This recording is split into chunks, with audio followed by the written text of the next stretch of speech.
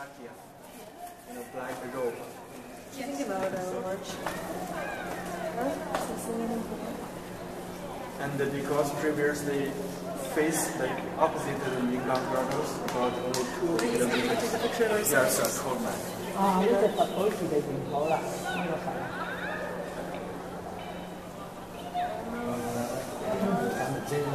So the Pompidou Pond, oh, a little like a pie, so it's a pie.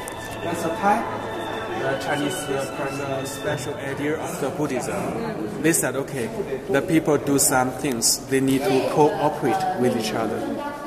Uh, if yourself do that, maybe you'll meet some problems. And if we are two together, do that.